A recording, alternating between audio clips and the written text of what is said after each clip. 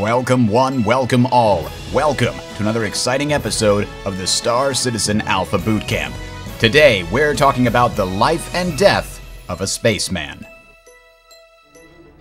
Remember, this is a companion to the Tales of Citizens podcast. If you'd like to hear us discuss the ramifications of the design outlined in this episode, head over to talesofcitizens.com or check the description. Hello, everyone. I am Bridger, and today we are going to be walking you through the creation of a character in Star Citizen and the death of a character in Star Citizen. Let's start at the very beginning. I've installed Star Citizen, and I'm about to create my first character.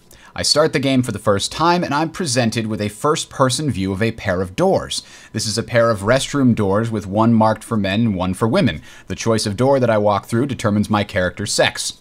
Next, my character looks in the mirror of the washroom and you get to adjust his appearance. So I make some changes, decide I want this hair color and this style, and I want this beard, and I'm good to go.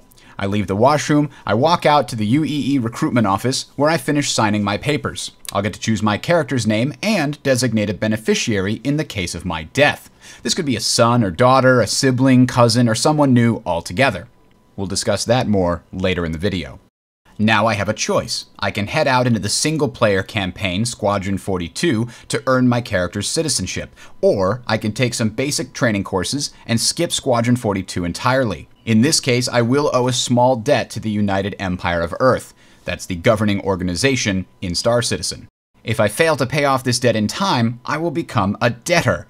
This is not a good situation because debtors are denied landing rights on any planet controlled by the UEE and will not enjoy protection from the United Empire of Earth police force. So once I've finished the single player campaign, or just jumped right into the Star Citizen universe, I go out to make my fortune. I take on missions, plot new jump points, fight pirates, smuggle goods, and generally have a blast playing the game. Unfortunately, I take a big risk which gets me into big trouble. My ship is being hit from all sides, my shields are down, my power core is about to blow. I only have a few seconds, but I manage to pull the eject lever. The pirates who beat me laugh as my ejection pod spins away into blackness. Then they turn back to picking the bones of my poor beloved ship. Now, this scenario is likely to be a common one. You'll lose a fight and have to eject. Your aggressors will likely not kill your pod, as this is harshly punished when you're in UEE space. You'll be placed back on the last planet you docked on. The in fiction reasoning here is that your distress signal attracted the attention of a passing trader who brought you back to civilization. Now, in all likelihood, your ship's hull was insured and you'll get a new ship waiting for you. However, your cargo and upgrades will only be replaced if you paid extra to insure those items. So at this point, I've lost some money because I didn't insure my cargo, but I got my ship back and I get back to flying missions. Eventually, I make my way further out into the riskier, less civilized parts of space. The UEE does not own these systems nor offer protection in them. I get into another bad scrape and my ship is blown up before I can even eject. This scenario will happen, though probably not as often as the previous one. When this happens, you'll have expended one of your character's lives. Star Citizen introduces the concept of an MMO character having a certain number of lives. This allows your character to quote unquote die multiple times before finally being put to rest. You'll start a new character with somewhere around six lives. This represents the human body's tolerance for regeneration when close to death. Medicine in the 30th century is very good, but the human body can only take so much punishment before it finally gives out. Now, you can lose a life due to having severe damage to your body, such as having an escape pod blown up, not ejecting in time, or being shot in the head during a boarding action. When your character quote unquote dies, but you still have lives left, you'll wake up in a hospital with some visual indication of your trauma perhaps a cybernetic arm, or a scarred face, or maybe a metal plate on the side of your head. You'll be able to collect your new ship from the insurance company and head back into space, though with proof of your character's history visible on your avatar. When you finally do die and have no more lives left, instead of waking up in a hospital, you'll be viewing the funeral service for your character through the eyes of your designated heir. This is the beneficiary mentioned earlier when making your character. You'll be able to customize the appearance of your new character and designate a beneficiary in the case of his death. If your previous character had any specific accomplishments, they would be mentioned during the funeral and on the headstone. Here lies Chris, discoverer of the Orion 2 jump point, slayer of the dread pirate Roberts, and a citizen of the First Order. There will also be opportunities to regain some lives by doing specific missions or paying a lot of money to a lab performing stem cell research, for example. Now, some things to note about this inheritance. Your heir will inherit most of your dead character's assets, including ships and money. There will be a small tax because even in the future, they have estate taxes.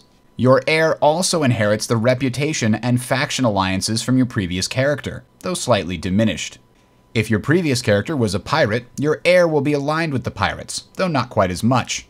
You'll never get a clean slate, but if you did want to change your character's allegiances, this would be a good time to start.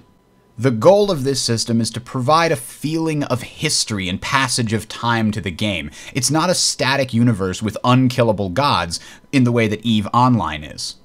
It also dampens the frustration of a game which does have permadeath. You won't lose your character right away, and you know when you need to be more careful because you're running out of lives. This provides a feeling of tension whenever you put your character at risk, and a subsequent feeling of satisfaction when things go well. This also means that if you're the one to finally end the life of an infamous player character, that is your achievement. Nobody else can do that. You're the one who killed them the final time that sent them to their funeral. And finally, this allows players to keep their progression going even though their character has died. And now there's a successor to carry on the family legacy, and perhaps seek revenge. Hello. My name is Inigo Montoya. You killed my father. Prepare to die. One other thing to note this doesn't just apply to player characters, it will also apply to NPCs all of the major NPCs will be unique and can only be killed once. If you're the one who kills the Dread Pirate Roberts, that is your personal achievement. Nobody else in the universe will have that notch on their belt. That's not to say there will not be a successor to the Dread Pirate Roberts that comes up to fill the power vacuum in the pirate superstructure, but you're the only one who killed that specific Dread Pirate. The Star Citizen Alpha Bootcamp is a joint project of the Sound Strategy Network and the Team Legacy gaming community. For more information, check the links on the screen. Thanks for watching, everyone. I am Bridger, and I hope you join us next week where we'll be talking about the history of Star Citizen.